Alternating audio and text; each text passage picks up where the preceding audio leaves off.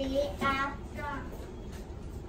Good. They went into the woods, so they are in the woods. Gotcha.